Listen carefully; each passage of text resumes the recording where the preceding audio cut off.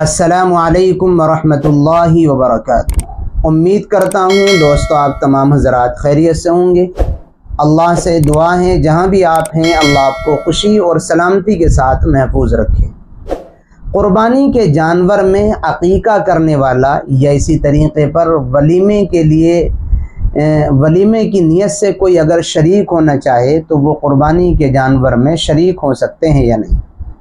मिसाल के तौर पर यूँ समझिए कि बड़े जानवर में सात हिस्सेदार शरीक हो सकते हैं और उसमें पाँच हिस्सेदार तो वो हैं जो क़ुरबानी करना चाहते हैं ईद अज़हा वाली और एक वो है जो अपने किसी बच्चे का अकीका करना चाहता है और एक वो है जो अपना वलीमा या किसी का वलीमा करना चाहता है। तो क्या ये सब मिलकर के एक जानवर में अगर शरीक हो जाएँ तो क़ुरबानी करने वालों की क़ुरबानी और अकीका करने वालों का अकीका, या इसी तरीक़े पर वलीमे की नीयत से शिरकत करने वाले के लिए वलीमा सही हो जाएगा यानी याद रखें, एक बड़े जानवर में क़ुरबानी करने वाला भी और अकीके की नीयत से शिरकत करने वाला भी और वलीमे की नीयत से शिरकत करने वाला भी शरीक हो सकता है और सबका अपनी अपनी नीयत के अतबार से अकी वाले अकीके वाले का अकीका वलीमे वाले का वलीमा, क़ुरबानी वाले की क़ुरबानी दुरुस्त हो जाएगी। लेकिन एक मशवरा ये है कि जिसका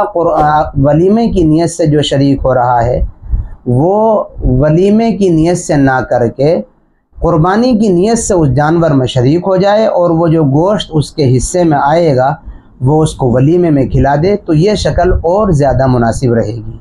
यानी एक जानवर में, इसलिए कि अकीका करना भी इबादत है, वलीमा करना भी सुन्नत है, और क़ुरबानी करना अगर वाजिब है तो वाजिब है, वाजिब कुर्बानी की जा रही है तो वाजिब है, और अगर नफली कुर्बानी कर रहा है तो नफली है। यानी तीनों इबादत हैं। जब तीनों तरह की कुर्बानियाँ इबादत हैं, सुन्नत, मुस्ताहब या वाजिब हैं तो फिर तीनों एक साथ अगर एक जानवर में शरीक होकर के क़ुरबानी कर लें तो उसमें कोई हरज नहीं है।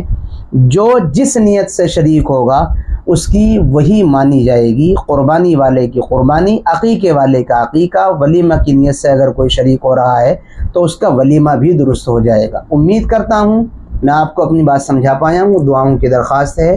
फिर मिलेंगे इन किसी नई और अच्छी वीडियो के साथ। असलकम वरहमल वर्क